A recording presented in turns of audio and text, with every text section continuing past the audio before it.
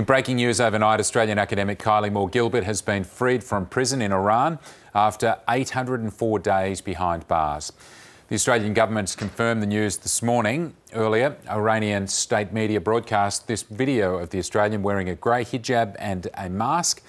It says she's been released in exchange for three Iranian prisoners held overseas. Kylie Moore Gilbert is a lecturer in Middle Eastern Studies at Melbourne University and a dual Australian and British citizen. She was sentenced in 2018 to 10 years on espionage charges, which she denies. For more, we spoke a little bit earlier to our Middle East correspondent Eric Tlozek. At the moment, we know what the Iranian government is saying, which is that, uh, that, that, Kylie Moore Gilbert was exchanged uh, for three Iranians held overseas. Iran says that they were held uh, for trying to circumvent United States sanctions. Uh, and that they've been released now in, in, what it calls, you know, something a, a just decision. But it does seem from some reports that two of the men were actually prisoners jailed uh, in Thailand for terrorism offences as part of a plot uh, to kill Israeli diplomats. Um, so one of the men is in a wheelchair, missing both of his legs, and it's likely he's he's a man who was jailed after uh, a bomb he was holding uh, to throw at police detonated and injured him. Uh, so uh, this is, if, if, this is confirmed, it's it's really extraordinary. Uh, the fact that the Thai government uh, agreed to release uh, these prisoners in exchange for securing mm. Dr. Moore Gilbert's release to Australia. So lots more detail to come out about that release. Nour Haydar joins us now from Parliament House. Nour, uh, what's Canberra had to say about this this morning? Yeah, good morning. The Foreign Minister Marise Payne has expressed relief while confirming that Dr.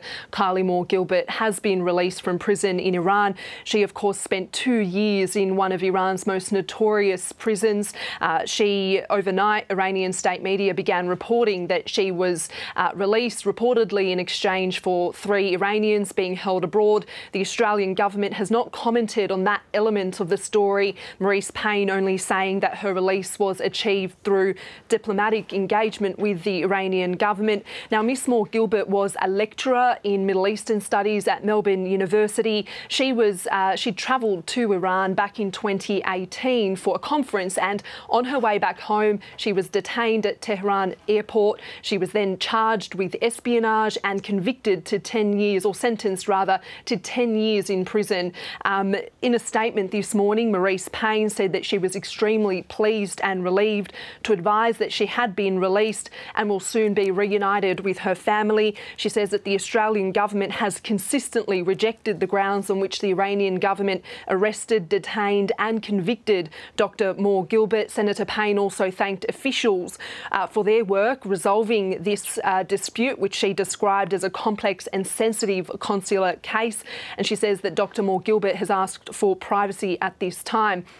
Over recent months, her friends and colleagues here in Australia and right around the world uh, launched a campaign to raise awareness about her plight and to place international press pressure on the Iranian government to release her. Uh, one of those groups has released a statement responding to news of her release, saying that they are uh, over the moon that she has uh, she's on her way home after 804 days in prison. They say that this should never have happened to her. They've always believed that she was innocent and they say that Iran held her as a hostage.